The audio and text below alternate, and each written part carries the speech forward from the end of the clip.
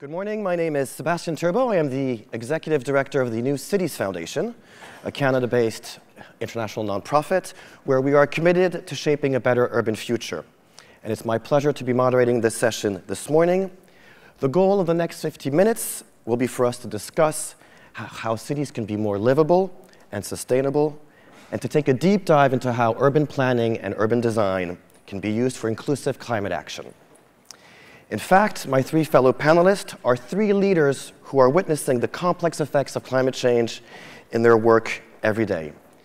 So please welcome Gioia Ghezzi, Chair of the Ferrovie dello Stato Italiane, Nathalie Palladitcheff, President of Ivanhoe Cambridge, and Anjuli Pandit, Head of Corporate Sustainability at BNP Paribas UK. Please welcome them on stage.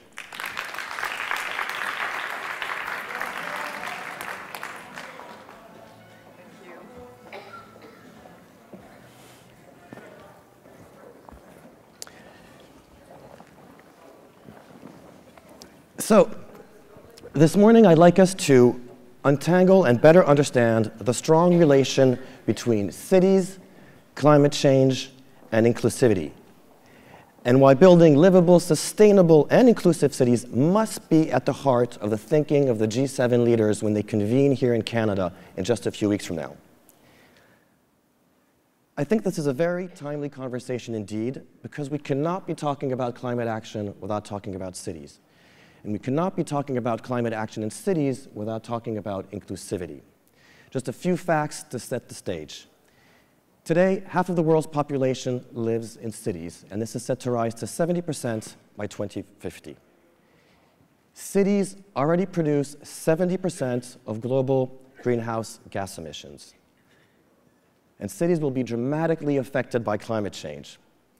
For example, remember that 90% of the world's biggest cities live by water. Here, think Venice, Dhaka, The Hague, Singapore, New York, or even Toronto. On top of this, the problem is that climate change isn't fair. Indeed, it's the poorest, most vulnerable populations of our cities who are disproportionately at risk from climate change. And this is true in cities the world over, rich and poor. For example, two thirds of the jobs that were lost after Hurricane Katrina were lost, were, were jobs lost for women. On the brighter side, the good news is that cities and cities leaders are increasingly stepping up for climate. And they're increasingly complementing, if not acting in lieu of national governments. We, can, we, we saw this, of course, with the overwhelming support of many leading uh, mayors around the world around the COP21 Paris Agreement, and even more so when 50 American cities announced that they were actually committing to the agreement when the federal government failed to do so. So, if there's agreement in principle that sustainable and inclusive cities are the way forward, if it's clear that cities are stepping up to the plate, we also know that cities cannot act alone and that indeed public-private partnerships, relationships, coordination will be central to solving our global urban challenges. And so this is where I turn to my panelists with the following questions. How do we bring these cities to life? How do we ensure that the way we work, we live, we play, and we move in cities is both sustainable and, inclu and inclusive? Do you have examples of how urban design and urban planning can have an impact both on climate and inclusivity? And what solutions can we better leverage and invest in to move faster and to move better? Let me turn to you, Gioia, first. And let's talk about mobility, this big topic today. You know, the whole transportation conversation has exploded recently with two big hot topics, autonomous vehicles and electrification. What effects do you think these two big trends will be having on climate action at the city level? Thank you, Sebastian. Um, autonomous vehicles and uh, um, electric vehicles are a very important part of uh, the equation for a new mobility. Let's remember that transport contributes um, between uh, 18 30% depending on where you measure of uh, uh, emissions that create climate change. So it's absolutely imperative that uh, uh, mobility and big mobility companies like uh, uh Gruppo Ferrovie dello Stato, where I work, uh, do their part and uh, partner with um, the public sector and the state, states and the cities they work with for uh, um, a new sustainable way of transport. Now, per se, uh, both uh, autonomous vehicles and uh, electric vehicles are not an answer uh, to climate change. So um, if we have autonomous vehicles uh, in the same numbers as private cars, if the autonomous vehicles were not electric, uh, then uh, from the point of view of climate change, uh, there would be no difference. There would be perhaps more convenience, um, perhaps uh, uh, fewer cars uh, on the road, but definitely not enough as a solution. Equally, if you think of electric cars per se, they do not produce emis emissions, but how much they pollute is simply due to what are the sources that produce the uh, electricity to run them. So you are at risk of simply moving pollution from within the city to uh, the next uh, uh carbon uh, uh, producing base outside, outside the city. So um, what we really need to think about is one, how to reduce consumption. For example, um, that's an Italian example, but the last uh, tender we did for trains, uh, which remain uh, the least polluting way of moving around. Please always choose trains whenever you can um, trains uh, in these tenders were specified so that they would be 30% less polluting than their predecessors. So again, private companies have a very big role in shaping the market and moving it uh, to a more uh, sustainable environment. So uh, autonomous vehicles are going to be very important if we can really change the way we think about mobility. For example, on uh, demand booking of shared uh, vehicles, minibuses that you can book and can come and pick you up wherever you are, um, rather uh, than at predefined uh, uh, stops. Um, that is going to reduce traffic, and there are studies showing that electric vehicles are going to be very, very important to reduce pollution in cities, but behind those, we need to put pressure for um, sustainable, renewable sources of uh, energy and for um, decreasing really substantially the amount of energy we all use. I'd like to follow up on what you were saying around this kind of coming debate around autonomous vehicles. You could, in the future, we could all have our own autonomous vehicle, or we could be using shared autonomous vehicles.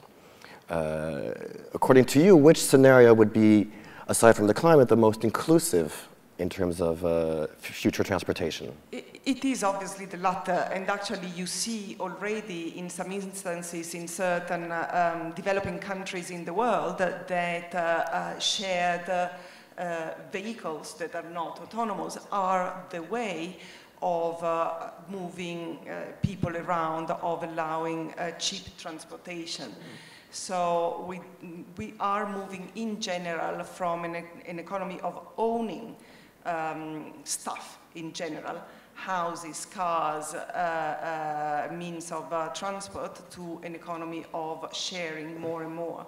So I'm definitely going for the latter and very much pushing for also a circular economy as a solution.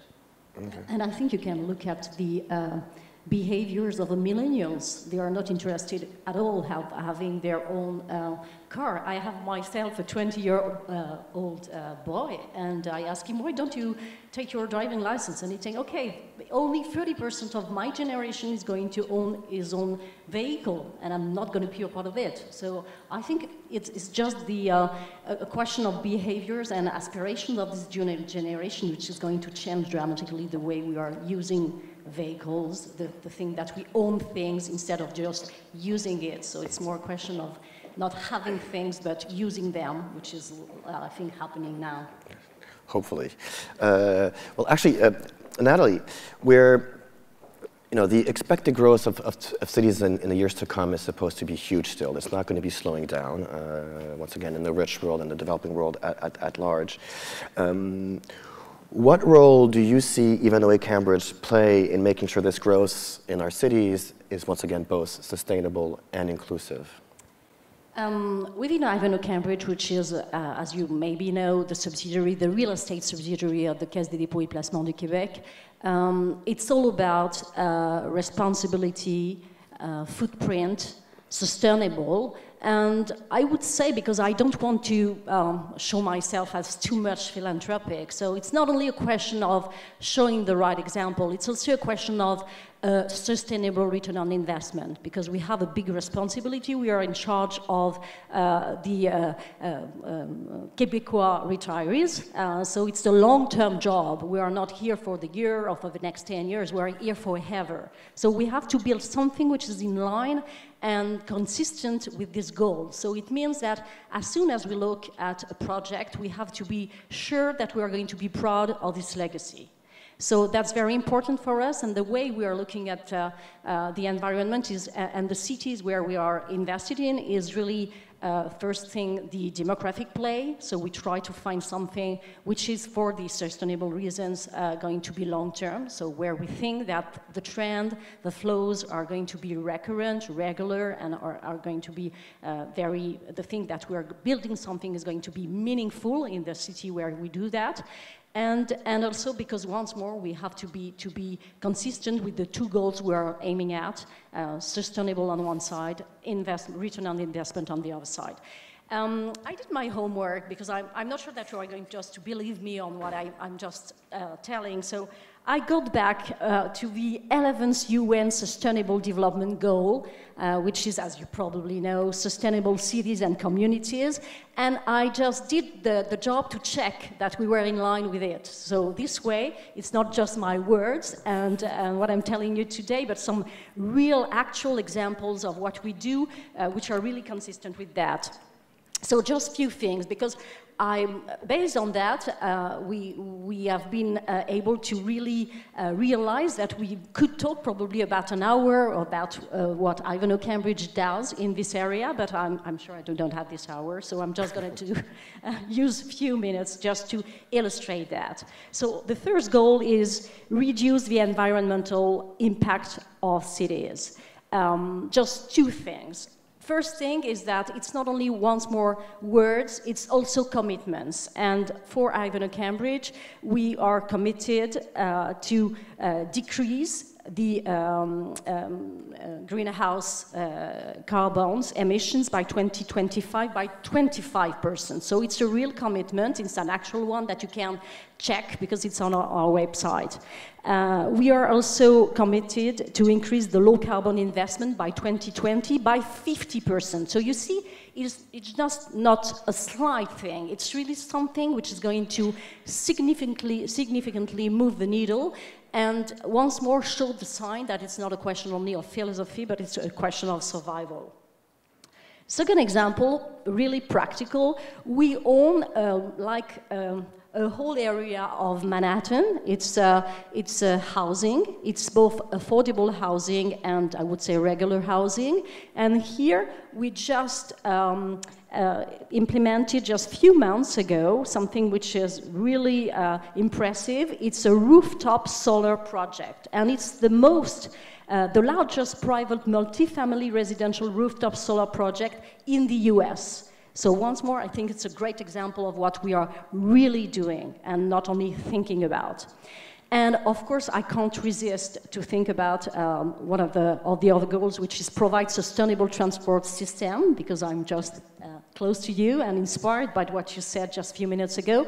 And because also we have a wonderful project here in Toronto, which calls the CIBC Square, where uh, you probably know that there is an integration, a direct connection with public transport. So here, the job is not only to influence what we are going to do as a real estate developer, but also the fact that we are responsible about the way it's going to be used by the people. You know, in real estate, we, we, we say a thing quite frequently, which is that we are moving from spaces to places. And that's very important because here within this CIBC Square, uh, which is just a project which is just a few um, uh, meters away from here, it's, it's a wonderful place. It's just the beginning of the, of, of the projects and, and the works. Uh, is going to be an example of what we can do. So mixing, connecting directly with the transports. So this way we are going to influence also the impact on the transport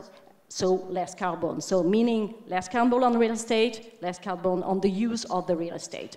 The second thing is that we have integrated within the project a public park. So it's going to be really not only, um, I would say, a building is going to be an whole area reflecting the last lifestyle that we think the tenants are expecting from this building. So, of course, I couldn't resist to talk, resist to talk about it because it's just uh, close to us, and I think it's a good illustration. Um, last thing, maybe, but not last, because it's very important for us. You know, we are traditionally uh, a Canadian fund. We own 25 shopping centers in Canada. That's really the history of Ivanhoé Cambridge. It's where we started our job and we, we are operating those shopping centers. And we um, opened uh, more than one year ago a new shopping center in, in uh, British Columbia, which is called Tsawwassen Mills.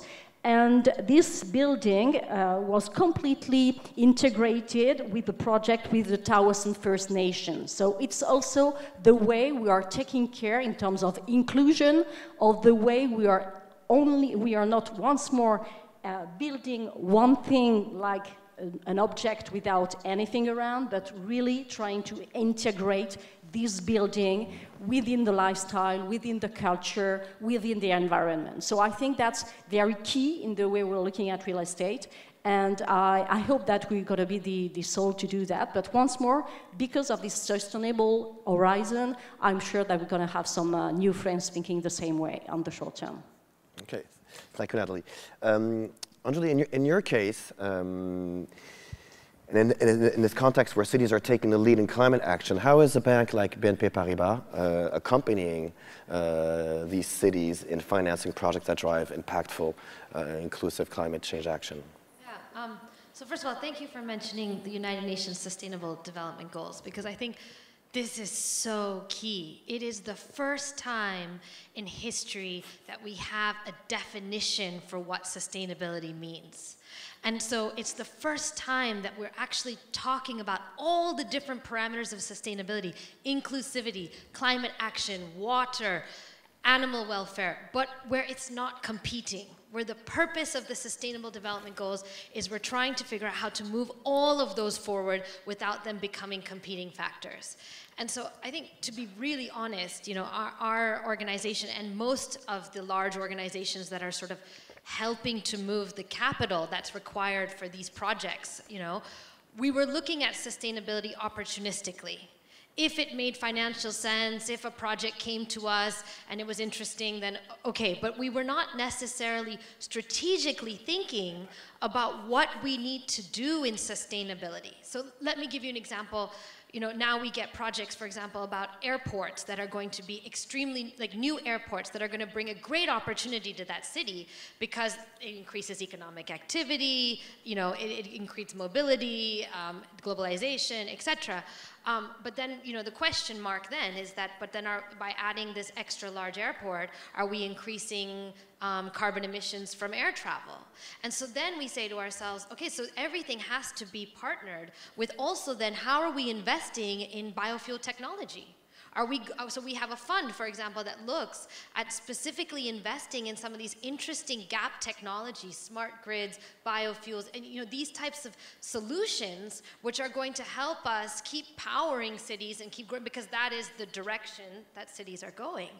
Um, when we look at some of the more interesting projects that we've done, of course, you know, being a French bank, BNP Paribas, you know, we've partnered quite a bit with the city of Paris, and we have different areas, different banlieues, which are the areas outside of Paris, which are historically sort of low income, um, and we've sort of taken on big projects. And to win these projects, we have to prove to the city of Paris and to the municipalities that we are thinking about agile working, that we're thinking about inclusivity, and that we have to prove we're thinking about sustainability sustainability.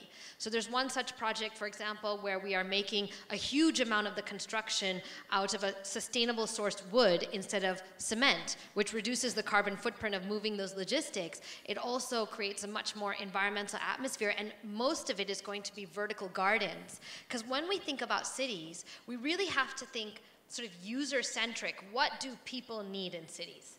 Water, food, mobility. You know, if I can go to mobility, you know, Shell put out a scenario this year um, in their analysis saying that, you know, we live in a world today which is 20% run on um, electricity and 80% run on fuel. Now, almost every type of fuel is putting carbon dioxide into that air. So when I turn the gas on in my house to cook my food, when I drive my car, the trains, etc., all running on diesel, you know, that's we need to move to a world which is 80% run on electricity and 20% our run trains fuel. run on electricity. Yeah. and you know and, and that's what's the most amazing thing about cities is that there are cities across the world that are saying we're not going to wait for all the government infrastructure to come our city is going to run on electric, um, electric trains. You know, we're going to change by 2030, 2050. And, and what we see now, what I see uh, as our organization and, and how we work with our investors and how we work with our clients is for the first time, people are thinking quite strate strategically and saying, how do I want to contribute to the United Nations Sustainable Development Goals? How do I want to contribute to climate action? And going aggressively and saying, we want to help electrify cities. We want to be part of expanding public transport systems. And those are the projects that we're looking for.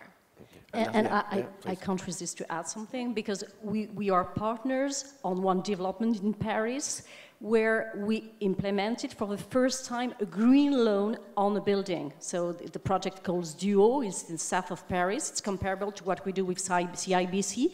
And with BNP Paribas, we have been able to um, really design the first green loan, and we have an agency which has designed the criteria that we have to match to really being able to do that. So um, I think the illustration of this panel is exactly what we are aiming at each of us does not have the whole solution, but the combination of the three talents which are on this sofa, I hope, and, and behind the organizations, uh, I hope could, could find some solutions. And, and being creative, I think it's, is going to be key. So even if we have some expertise and some skills, we can combine things. And I think that this green uh, loan is an example of what we can do to really try to, to move forward together.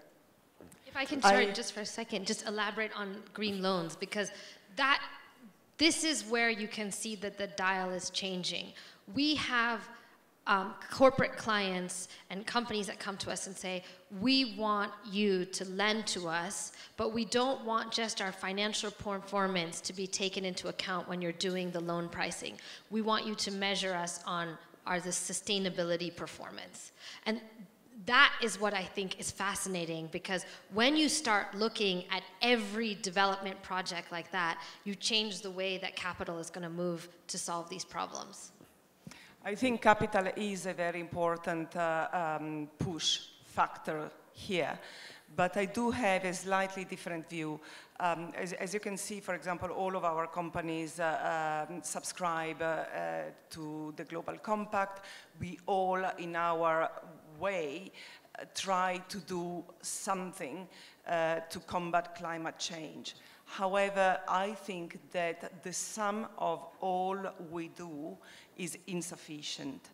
I think, uh, unfortunately, that the sum of little actions is uh, very important, but achieves too little. And uh, we really need much more drastic um, action here and an ex exponential acceleration of pace in both abating our um, greenhouse emissions and uh, uh, capturing them because what is never talked about is that even if we went to a zero uh, carbon world by uh, 2050, we would still have to capture uh, tons and tons of CO2 to avoid uh, um, the temperature of the world going beyond uh, the, the increase of two degrees. Um, since uh, uh, we started measuring the temperature of the world in 1850, the four um, hottest years were um, 2014, 15, 16, 17. And uh, in terms, and the, our emissions globally are going up and up and up. If you look at, um, uh, you know, ice analysis in Antarctica for uh, millions of years, uh, the amount of CO2 in the atmosphere was uh, around uh, um, uh, between 200, 300 mi milligrams um, part um, uh, per volume, and now uh, that amount has increased beyond 400. And since the Paris Agreement, we've increased again to 406 uh, uh, milligrams per part which uh, is very, very close to the threshold which will take us to the point of no return. So um, we really need to become much, much more radical, every single company, not only uh, the big companies that we represent, but every single small company, every individual, every building, every city, every mayor, going back to what you were saying, Sebastian, and mayors are doing potentially more than nations uh, at this point in time, uh, needs to really plan ahead for a dramatic change in the way we live and our behaviors. I, I, was indeed going to ask the three of you if, you if you thought, if you believe that both from your, uh, from your organ organizational perspective, but also, also as residents of cities, if you thought things were moving fast enough in terms of climate change. Gioia, I think you've just answered that question. Uh, Nathalie, Anjuli, if you want to, to respond to that. I, I really think that um, know, when, I'm thinking about real estate, I'm thinking about urbanization. So I think that it's, it's a question of, uh, of urban planning.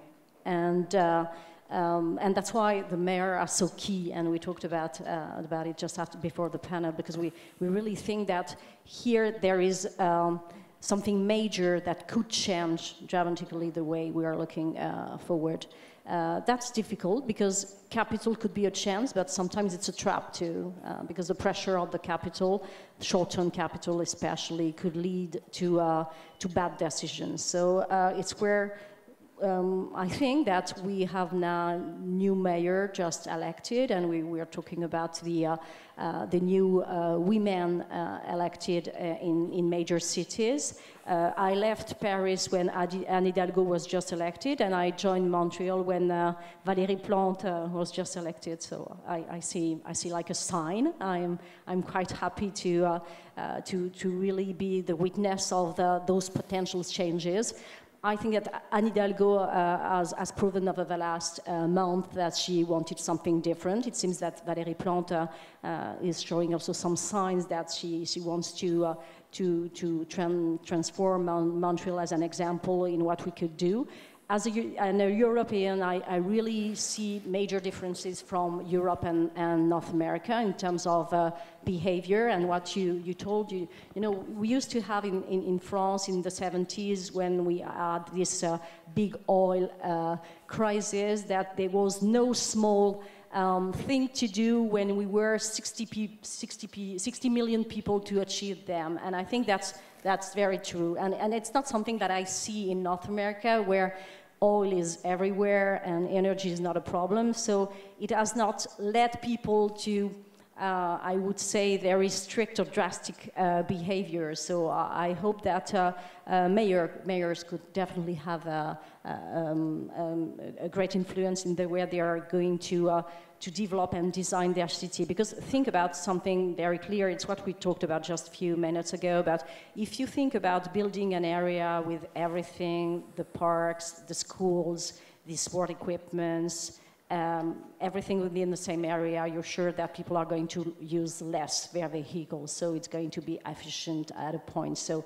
but if you look around and at the different cities around the world, I, am always uh, struck by that when I when I travel. Is that somewhere there are many places when you don't even see the the I would say the rule of the philosophy of the constructions. It's just one area then something different and there is not a real link or harmony and it's not a question of, uh, of being comfortable it's going to it's a question now of being efficient so it's something which is going to matter a lot but it, it's, it's, um, it's difficult because sometimes you have already uh, constructions and you can't just uh, get rid of them uh, without uh, impact and especially money. Uh, but I think it could be the, the big responsibility of the, uh, the major actors in the short term. Thank you. Uh, do you want to, to respond on the question of are, are we moving fast enough? No. no, you don't want to respond, or we're not moving fast enough? no, we're not. I mean, nobody's moving fast enough. It's a disaster we are pretty much on track to completely fail at reaching the COP21 agreement globally. It's, it, what we are doing, I've been working on climate change since 2006, and I'm very, very proud of what we are doing, and that there's concrete action, that targets are real, that we're hiring talent, we're upskilling people, we're innovating, you know, even at BNP Paribas, you know, although our green bond um, desk is still small relative to our bond desk, it's what we've grown is exponential in the last few years, you know, and so yes, we're doing a lot, but there is so much more to do, and I have too many conversations with people who either don't believe in climate change are more focused on finance and they're constantly saying it has to make money it has to make money. And you know we have really really senior people inside bnp paribas who are saying well does it? If it creates serious social and environmental value and if it's financially at least sustainable does it have to make lots of money? Or can we find a way to calculate that natural value that, that environmental and social value and really put tangible you know importance to that. And, and that's senior, senior, senior bankers who are asking that question, who for decades have been talking about making money instead. So I, I think we're going in the right direction, but no, we're not doing enough. Cities are not doing enough. It's, there's so much, there's such a huge gap.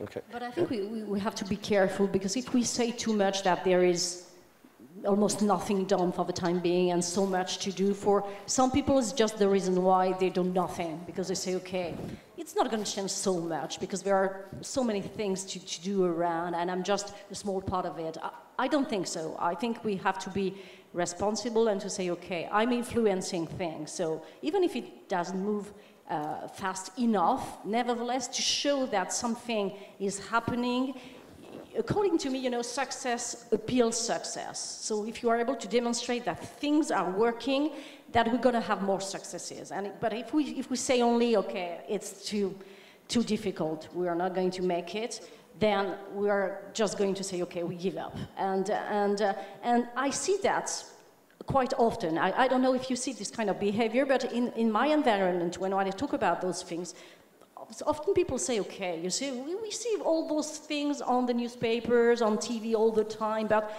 we can't really do anything. No, yes, we can do something. I think we have to, to that's probably my... Hero my, the good stories. To, yes, we have to, yeah. exactly. We have to have good examples. Okay, just to come back to the point you were trying to hint to, Nathalie, and I'll start with you, Gioia, on uh, um, the rise of female mayors in cities like Paris, like Montreal, Madrid, Barcelona. Uh, as Chiara Corazza, the managing director of the Women's Forum, was reminding us yesterday, of the 300 bigger cities in the world, only 25 of them are today run by, by women. Um, do you think, and I guess you would, that there's a case for stronger female leadership in cities, whether at the mayor level or even down in, the administration? Gioia. Well, absolutely. Like everywhere, there is a case for more uh, women mayors, and particularly for more women involved in urban uh, planning uh, data, I think, is going to be uh, fundamental. I think uh, uh women are already and need to take on uh, the battle of uh, climate change. uh, there is uh, uh, plenty to do, and uh, uh, we need uh, to squash the voices that say, oh, it's too late, let's do nothing. There is plenty to do. We are doing a lot. We continue to do a lot. So role modeling is very, very important, about, you know, from people and from companies. I think we need also to enforce, to include um, the external costs of what you do in, in the pricing um, there will be more and more uh, pressure from uh, customers, particularly uh, the young uh, generations like uh, Nathalie's uh, son. There is pressure so from, from customers, from regulation, and from funds and investments. So there are, there are um, ethical, there are green funds, green bonds, um, there are now gender equality uh, funds and, and, bonds in which we should all uh, try uh, to invest. So the demand of investors uh, for better practices will also uh, uh, you know, achieve a lot of change, I think. Nathalie, on the case for female leadership in cities? Um, I hope I represent a very modern company because I, I, was just appointed president of Ivanhoe Cambridge just a few weeks ago, and I'm French, so I work for a Canadian pension fund, uh, which has been able to appoint uh, a foreign woman. So I really think that we are a good example of what we can we can do. Uh, I definitely uh, believe in in uh, in female leadership because it's just a part of the diversification. There was a a minister in France uh, who used to said it's not a minority. We are representing 50% of the of the world. So definitely, it's just a question of not having always the same people around the table, but mixing ideas. So for me, it's not a question of being feminist, it's a question of just integrating some new ideas, probably sometimes uh, different points of view, more pragmatic. You know, thinking about urban planning, when you're a mother, you think yourself about okay uh, if i spend less time to uh, to drive my my children to the school it's going to be a great advantage for me and i'm sure it's going to help my career because you know, I, I heard something this morning, it's, it's funny, on, on, the, on the French radio, talking about the fact that if the uh, um, public transportation were safer, then it could help the female carriers, because for the time being, people, especially in Europe, we know that, um, they are not uh, able to take the metro after uh, 8 o'clock 8 o'clock in the evening because it's not safe. So they have to leave earlier their office and it, it, it prevents uh, them from having like the same career uh, as a male. So it's this kind of thing, which is really pragmatic that we could think of. So, um, you know, I, I, I, come from France where we implemented the quotas regarding the boards. I was not in favor of that at the beginning, but at the end, I really think that it was the only reason why we changed our uh, behavior. So I think that regarding what we talk about today, we would have to think about quotas too. And, and maybe, yes, maybe more incentives than just uh, discounts, but trying to find something which would lead people to be more creative even if they don't want to. So um, I'm, I'm, just like a dictator, but, but I think that at a point it's the only way to move people um, as a whole, like the whole room, everybody will be concerned by it. So, uh, so I think that it, it, it's the same for female representation and female leadership. If we don't do something which is like um, mandatory, that I'm not sure that it, it would move uh, uh, fast enough. Okay. Uh, you know, last year we had um, we had a big conference uh, at BNP Paribas called the Sustainable Future Forum. It happens in the fall, and I was in charge of the content. And so I was speaking to all of my um, uh, my coverage team, um, and we were talking about who from their client base, investors and corporates, could come and speak about sustainability. And we didn't even try. And by the end of it, when we looked at the list and who was coming, we realized that we had some 76% female on the dais. I have been to quite a few banking conferences, some also from BNP Paribas, and we have less than 3% women who are sitting on the panels.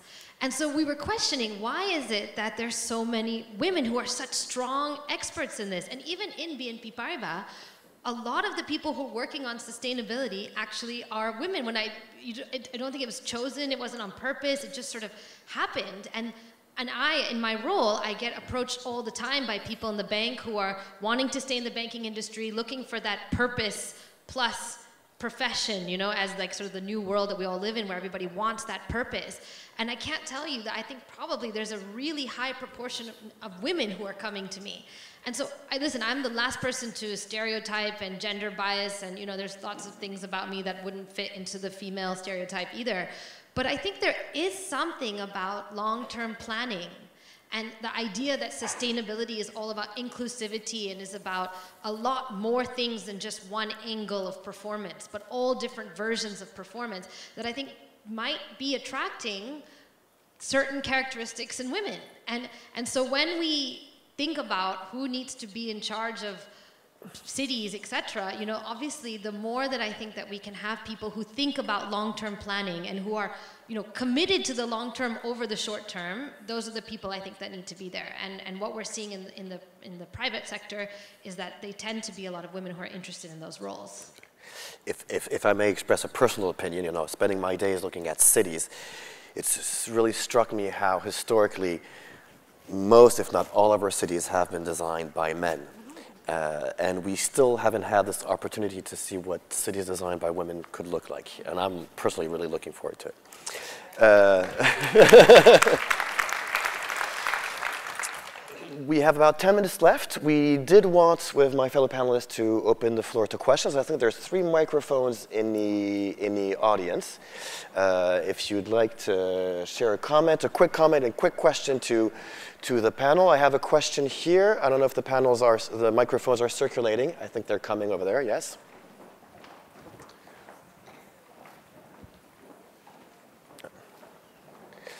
Uh, here, yes. Any other questions, just so I know where you are? Let me take a, okay, one over here after and one over there. Okay, we'll take a, Hi there, my name is Shauna Levy. I'm president of Design Exchange. Could you speak closer? Yeah, thank you. Hi, I'm Shauna Levy. I'm president of Design Exchange. We're Canada's design museum. Last fall, we did a big expo in partnership with the UNDP all around how design can help to achieve the SDGs, the Sustainable Development Goals. Um, I was absolutely amazed at how few companies in Canada are actually engaged in the SDGs in any meaningful way. And I'm just wondering, this is geared to Nathalie or to the other panelists, how do we get Canadian companies to take the SDGs seriously and uh, implement them in a holistic, authentic way so that the public can be engaged as well? If you don't mind, I'll take the three questions at the same time. So there's a, another question over here. Yes, you have a mic, and over there. Okay, yeah. so please. So hi, um, Nadia Petrolito from L'Oreal. It's more of a comment slash question. Um, I can't resist but to um, challenge a little bit this notion that women are the only ones, or at least are proponents of just this climate change. I think that if we're going for this drastic change that you're talking about, I think we need to bring obviously the men along with us. And if anything, I think if we're going to try to battle both of them together by putting us in these positions plus trying to do the climate change, I think we're setting ourselves up for failure. So how can we then therefore, because I, I think that you're underestimating the influence that I think women might have. So how would you think that right now in the positions that we do occupy, can we influence the men that are in the positions and then eventually, of course, take on the bigger roles? Okay, and the third question over here. Do you have a microphone?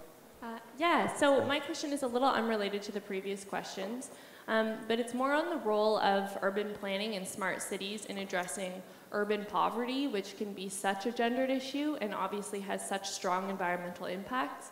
So I was just wondering, in your respective roles, what you think um, the future of urban planning will look like in addressing poverty in cities. Okay, so a question on urban planning and poverty, on the role of men and SDGs and Canadian companies. If you want to?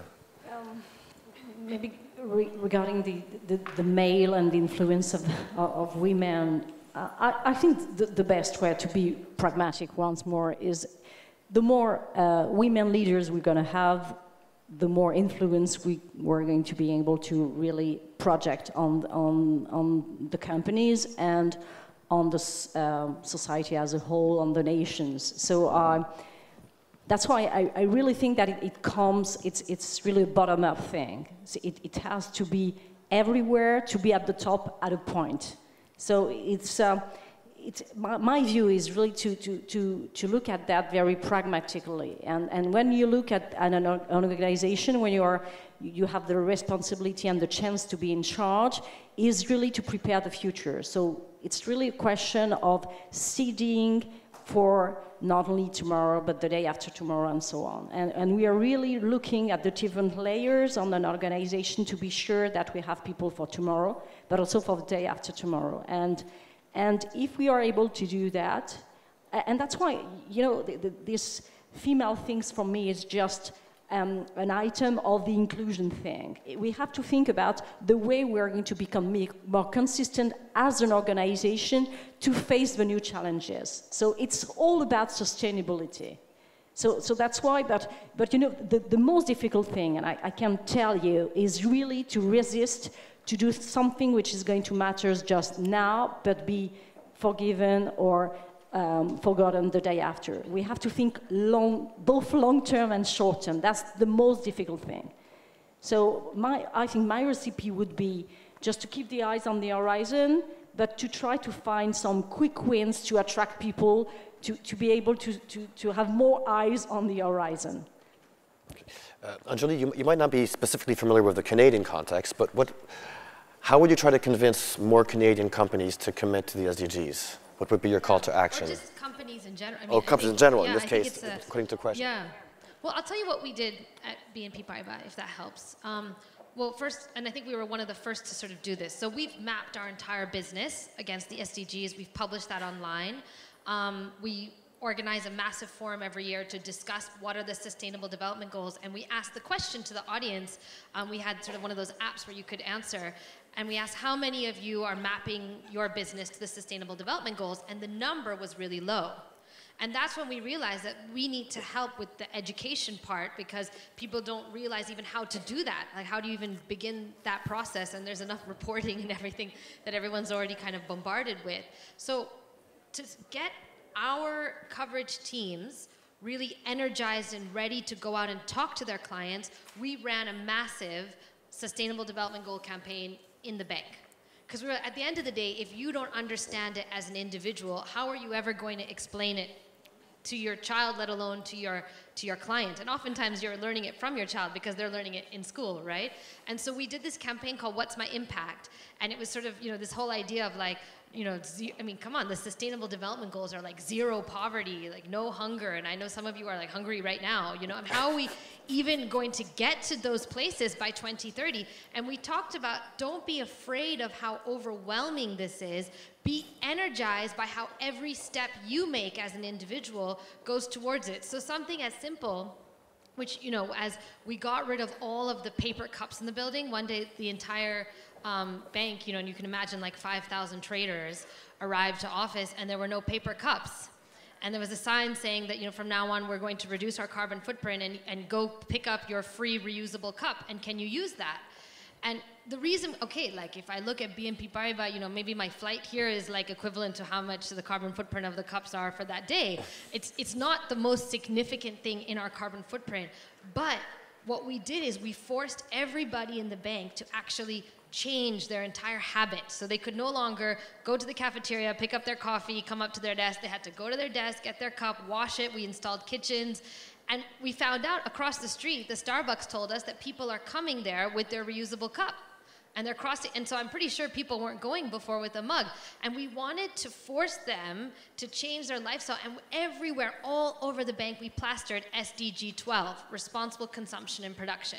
And we're like, you are helping us achieve SDG 12. And then when we said to them, okay, are you ready to talk now about SDG 12 to your clients? Something felt natural.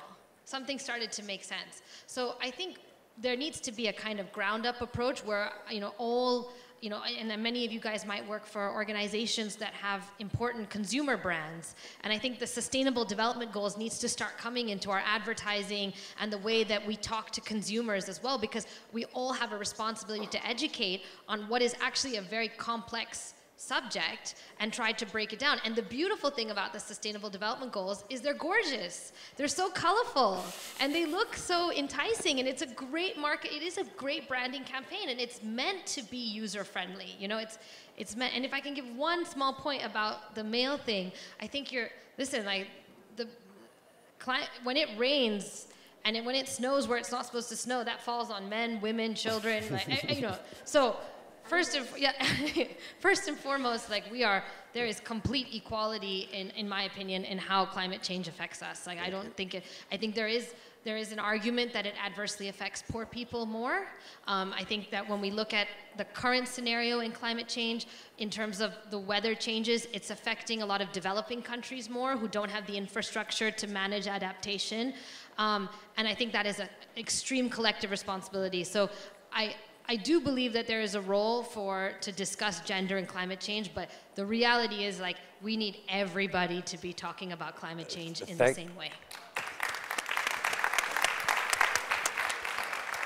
And just quickly, as we have very little time left, Gioia, on the on the, the question of smart cities and underprivileged populations. I know you're currently working on a smart city project around Milan, if I'm correct. How, do you, how, how are you taking that factor in, into account?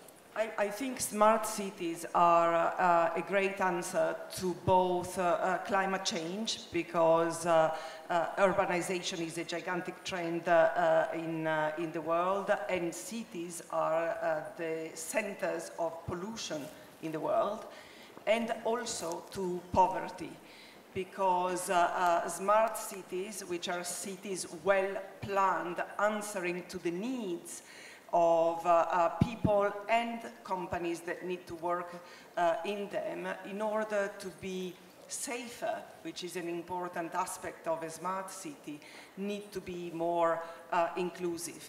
In order to be sustainable, they need to be based on circular economy and uh, um, through inclusivity and a more circular and sharing economy, you will also help to bridge the divide between uh, the have and the have-nots.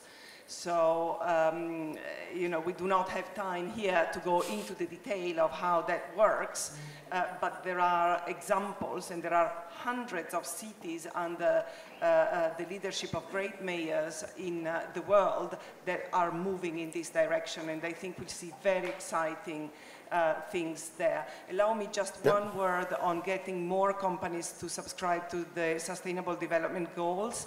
I think, again, role modeling is very, very important. Uh, uh, we just got a great example of how you can do it uh, uh, uh, within a company and move the company to adopt the goals, but also do not underestimate the peer pressure between companies. You know, if I'm a bank and see that BNP Paribas has uh, adopted the SDGs, uh, I might want to do the same. So the more of us do it and publicize it, uh, the more we'll adopt it. And uh, um, I think the issue of men and women has been uh, wonderfully addressed, so I will not add uh, anything on that. A last comment, Nathalie? Or Okay, uh, the red light is blinking. It's time for us to close this panel. Uh, I think it was a very interesting conversation. Please, could we thank my fellow panelists? And it's done.